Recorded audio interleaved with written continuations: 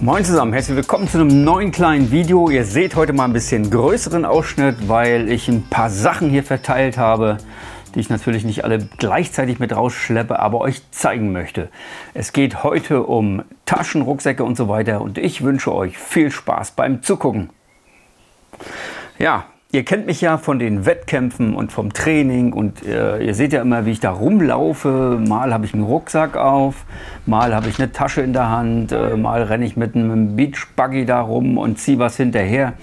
Ich habe natürlich immer unterschiedliche Taschen, je nachdem welcher Wettkampf das ist, je nachdem äh, welche Art von Wettkampf das ist, je nachdem ob ich beim Training bin oder ob ich Zeit habe, ob ich keine Zeit habe, ob ich im Ausland bin oder im Inland, ob ich ein Auto dabei habe oder lange Wege äh, gehen muss. Also benutze ich unterschiedliche Taschen und ich zeige euch heute mal, was ich alles habe und stelle euch auch meine Lieblingsgewehrtasche äh, vor und meinen Lieblingsrucksack.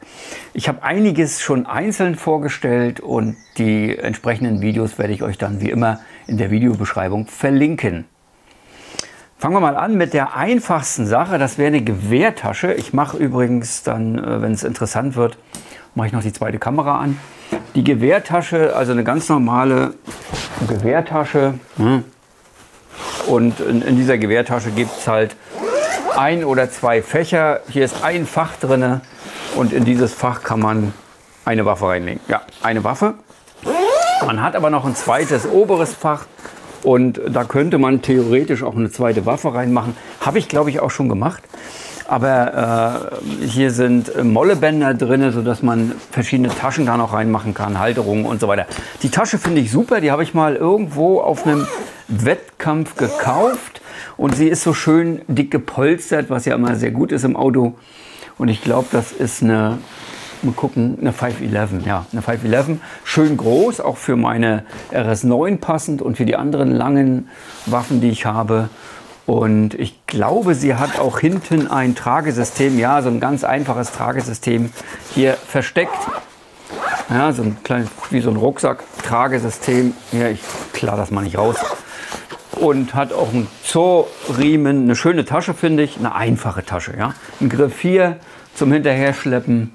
Und ansonsten, naja, schön einfach gehalten auch nicht ganz billig. Aber das ist das, was ich normalerweise benutze, äh, wenn ich eine Zweitwaffe dabei habe. Oder wenn ich, Achtung, ich schmeiße sie mal dahin, wenn ich meine Matte benutze. Ja, weil dann habe ich die Tasche und die Matte. Ja, wenn ich eine schöne Liegefläche brauche und ich brauche sehr viel Platz und das muss alles eben sein, warum auch immer, dann benutze ich meine Matte. Ich hatte die schon vorgestellt, die ist ja selbst gebaut oder selbst genäht. Und die entspricht genau meinen Anforderungen. Also vorne ein bisschen dicker, in der Mitte ein bisschen äh, normal gepolstert, hinten bei den Füßen gar nicht. So wie das ja ganz oft der Fall ist. Und diese Matte, hab ich, die habe ich schon lange im Einsatz jetzt. Die ist noch so wie am ersten Tag und funktioniert hervorragend. Einige haben die schon nachgebaut. Ich habe Bilder bekommen und äh, ja, die sehen sehr schön aus, habe ich gesehen. Eine ganz einfache Matte, schmeiße ich mal dahin, habe ich schon gezeigt. Dann benutze ich sehr, sehr oft, ich schiebe das mal beiseite, meinen Rucksack. Das ist der Eberle Stock Phantom. Und das Ding hat quasi ein Gewehrfach hier hinten und einen normalen Rucksack. Und das Ding ist Gold wert, finde ich. Ist nicht wasserdicht, klar, logisch, äh, muss man Überzug nehmen. Aber es ist ein toller Rucksack und den habe ich schon, ich glaube, vor zwei Jahren mal vorgestellt. Und das ist ein tolles Teil. Das benutze ich vor allem, wenn ich äh, dynamisch unterwegs bin. Dann kann ich die Waffe auf den Rücken nehmen. Und das ist natürlich äh, eine schöne Sache. Ich kann den Hauptrucksack wegmachen und kleinere Taschen benutzen, eine Weste benutzen. Und da habe ich auch schon mal ein Video zugemacht. Äh, das verlinke ich euch auch in der Videobeschreibung. Da müsst ihr mal reingucken. Also, habe ich schon vorgestellt. Die Matte habe ich schon gezeigt, wie sie gebaut wird. Und heute will ich euch mal zeigen, was ich äh, ja, viel in letzter Zeit benutzt habe, wenn ich nicht dynamisch unterwegs bin. Und das äh, sind ja auch einige Wettkämpfe und viele Trainings vor allem. Da muss ich ja nicht weit rumlaufen, fahre ich mit dem Auto an, die, an den Stand und packe einfach aus. Und wenn ich alles dabei haben will, benutze ich nur diese Tasche. Nichts anderes. Da ist wirklich alles komplett drin, was ich für einen Schießtag brauche, außer äh, Getränke und Essen und natürlich Klamotten. Da habe ich einen kleineren Rucksack dann. Und die Tasche stelle ich euch jetzt mal ein bisschen ja, ausführlicher vor. Und ich mache dazu mal eine zweite Kamera an.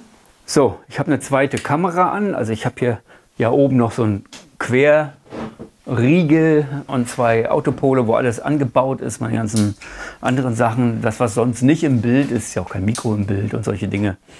Und ihr seht ja hier die halbe Ausrüstung noch. Ich zeige euch das mal ein bisschen.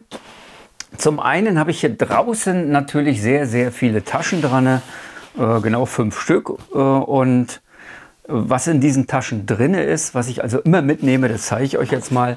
Auf der Rückseite, da gibt es natürlich wieder ein Tragesystem, das ist sogar relativ komfortabel und das ist hier versteckt. Ja, ich kann das hier aufmachen und siehe da, das kann man äh, rausziehen und anbauen. Das Schöne ist, man kann es auf der Seite anbauen. Das ist nämlich hier dieses, die Halterung für das Tragesystem. Und man kann es auf der Seite anbauen. Man kann die Tasche also so oder so rumtragen, je nachdem, wie man das braucht. Und hier sind irgendwelche kleinen Pinorex drin, um das Ding anzubauen. Das ist dann schön zugemacht wieder. Das ist einfach zugeklettet und fertig. Man kann es dann genauso auf der anderen Seite aufmachen, ja, je nachdem, wie rum man das Ganze tragen will. Hier ist auch noch eine kleine Tasche drin für irgendwelche Kleinigkeiten. Ja, benutze ich aber eigentlich eher nicht. Die Rückseite. Äh, was ist hier noch drin? Wir haben ja noch so kleine Anbauten überall. Und hier ein Täschchen um den Riemen, ja, den Zurriemen. Hier ist ein Zurriemen dran. Ich schiebe das mal auf die zweite Kamera. Hier ist ein Zurriemen dran und dieser Zurriemen, ja, das ist ja bei solchen Taschen immer der Fall, den kann ich hier reinstecken und dann stört er nicht. So, wieder umgedreht. Äh, hier ist noch eine Tasche, um irgendwelche anderen Sachen einfach reinzustecken. Zum Beispiel auch der große Trageriemen. Ja, das eine ist ja so ein, so ein Zoorriemen, das ist der Trageriemen äh, für die Seite. Da stecke ich auch immer so ein kleines, so einen kleinen Bindfaden noch mit rein. Der ist hier, um dieses Ende rumzuklappen, wenn es mal richtig dreckig ist. Zu dem Rest komme ich gleich. Was ist in den Taschen drin?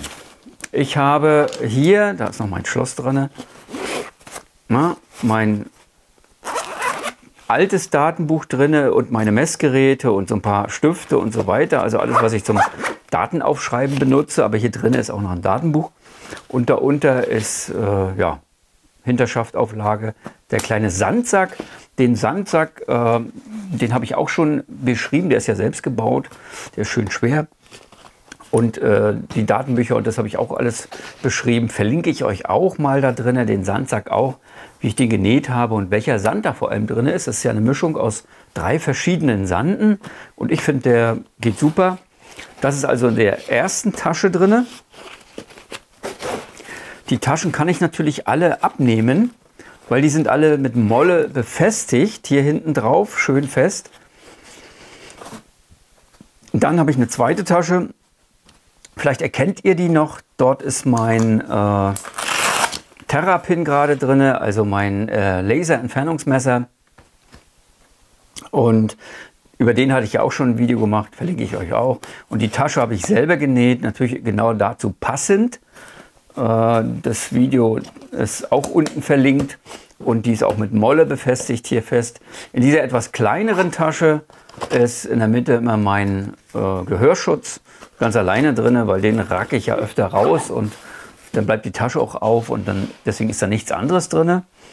Dann äh, gehen wir mal ein Stück weiter. Hier ist eine etwas größere Tasche. Hier ist alles drin, was ich sonst noch so brauche. Zum Beispiel äh, mein Tacker. Ich habe so einen kleinen Tacker und äh, Tackernadeln natürlich. Und das, diese Dings in Rot, weil ich die sonst immer verliere. Jetzt habe ich mir durch die Tackernadeln hier einen Schlatz reingemacht in den Tisch. Naja, ah ist halt ein Tisch. Hier ist mein Tourniquet. Also hier ist jetzt auch ein Medipack drin, ne? mein ganz kleines Medipack und ein Tourniquet. Die beiden Sachen habe ich immer mit. Tourniquet, wenn ich weiß, was das ist, ich mache dazu noch mal ein Video, das ist zum Abbinden Da ne, benutzt vor allem die Army. Äh, und ich habe hier äh, Reinigungszeug drin, also eine Snake nur, ne? mehr nicht. Eine Snake reicht für die Waffe, die ich immer gerade mit habe. Die vier Sachen sind hier drin. Komme ich schnell ran. Und hier drüben ist die Moni drin. Ne? ich habe die ja hier in so einer äh, ja, anderen Verpackung. Das ist auch selbst gebaut, wie das gebaut wird. Also die Munitionshalterung hier, die super, passen Haufen Muni rein hier. Ich glaube 32 Schuss auf so eine Plattform. Und äh, das ist eine kleinere zum Nachladen und ich habe davon mehrere. Ja, das ist, hat sich super bewährt, habe ich schon eine Weile jetzt. Verlinke ich euch auch das Video dazu. Und in der letzten Tasche ist also die Muni drin. Die habe ich extra nochmal hier in so einer Tasche, weil ich die Hülsen natürlich dann hier reinschmeiße und dann der Rest nicht dreckig wird. Die passt hier genau rein und ist dann ja auch mit dran. So, machen wir das Ganze mal auf. Na, hier sind vier Schnallen dran. Es reicht auch normalerweise die Schnallen zuzumachen, wenn man schnell irgendwo hin und her gehen will. Da braucht man nicht den Reißverschluss äh, zumachen. Der Griff hat natürlich hier wieder so ein Klettding, damit man den schön greifen kann. Und ringsherum ist so eine Schutzflappe für den Reißverschluss. Das ist immer ganz wichtig. Äh, Reißverschluss ist ein YKK, also ein guter. Hier ist noch ein Patch-Fach vorne drauf und äh, unter dem Patch gibt es noch ein ganz, ganz kleines Fach. Da kann man dann seine Millionen verstauen. Oder weiß der Fuchs was. Äh, ich schmeiße das mal rum. Und jetzt habe ich gleichzeitig, ja, wenn ich das aufklappe, meine Matte. Und damit die Matte lang genug ist, gibt es hier eine Verlängerung für die Füße und die klappe ich einfach um. Das ist super. Ich habe hier innen jetzt eine Polsterung überall. Das hier vorne ist anti-rutsch beschichtet. Das ist auch super. Und ich habe hier verschiedene Sachen, die sind nochmal drauf gebaut. Die kann ich auch abmachen. Ja, aber das ist natürlich super. Ich habe hier ein Sichtfeld und da ist zum Beispiel mein Datenbuch drin. Es gibt jetzt bald das neue Datenbuch. Das ist noch das alte. Ja, hier ist eine schöne Tasche drin. Und hier auf der anderen Seite ist die gleiche Tasche nochmal, aber mit Munitionshalter vorne nochmal. Wenn ich jetzt beim Wettkampf irgendwie Munition da verstauen will, kann ich da auch 1, 2, 3, 10 Schuss verstauen. Dann ist da noch eine Tasche die benutze ich auch immer. Da ist mein, mein Safety Flag immer drin. Kann ich nie vergessen. Ich habe ja mehrere. Das ist jetzt ein sehr großes für Wettkämpfe. Und die Waffe. Die Waffe ist natürlich festgemacht hier mit zwei solchen Klicks. Habe ich nicht gemacht jetzt. Und es passen große Waffen rein. Also meine RS9 passt gerade so rein. Das ist dann aber nicht mehr schön. Diese Waffe passt da gut rein. Und man kann die äh, Fixierungen hier, die kann man verstellen. Da ist wieder Molle kann ich also alles, äh, äh, je nachdem, welche Waffe ich habe, das Ganze schön verstellen. Und es passen auch Waffen rein mit hohen Aufbauten und extra Sachen. Und äh, hier gibt es eine Mündungstasche, also für die Bremse oder den, den, die Mündung des Laufes, damit hier nicht alles total dreckig wird. Das finde ich schon super. Da haue ich das Ding jetzt hier rein und dann kann ich das einfach äh, vorne und hinten festmachen. Und dann ziehe ich das einfach fest und dann ist das Ganze gut fixiert. Ja, hier vorne genauso. Das ziehe ich meistens unter dem ZF durch. Zack. Und dann kann ich das Ganze festziehen. Ja, je nachdem, wie ich das fixieren will. So, jetzt ist es richtig fest und äh, klappert hier nicht mehr hin und her. Ja, das Ganze ist gleichzeitig äh, meine, meine Matte, Schießmatte und gleichzeitig meine Gewehrtasche. Und das ist super. Man muss aber daran denken, dass jetzt hier unter die Taschen liegen. Das heißt, man liegt eher so in diesem Bereich. Der reicht für mich normalerweise aus. Äh, wenn man den großen Bereich haben möchte, dann müsste man die Taschen leer machen. Mache ich manchmal, wenn ich sehr viel Platz brauche, mache ich die zwei mittleren Taschen leer und nehme meinen Terrapin raus. Aber naja, Meistens mache ich es nicht, weil ich genug Platz habe. Kommt darauf an, wie der Untergrund ist. Das kann man sich dann zurechtbauen. Man kann im Wettkampf ja vorher irgendwelche Sachen rausnehmen. Ich brauche ja nicht immer zu ein Laserentfernungsmesser, wenn die Ziele auf 300, 600, 800 und 1000 Meter stehen und die eingemessen sind. Dann messe ich ja nicht nach. Ja, das Ganze wird jetzt hier einfach wieder zusammengeklappt. Dieses Teil hier unten kann man abnehmen und waschen. Das ist natürlich gut. Das ist hier auch gummiert auf der Rückseite so ein bisschen. Und äh, da die Füße da drauf sind oder vielleicht im Dreck, kann ich das abnehmen und dann separat waschen. Das mache ich mit der Tasche ja eigentlich nicht. Und jetzt kann ich das Ganze wieder zusammenklappen und eigentlich reicht das, wenn ich die äh, Dinger hier zumachen für einen schnellen Transport.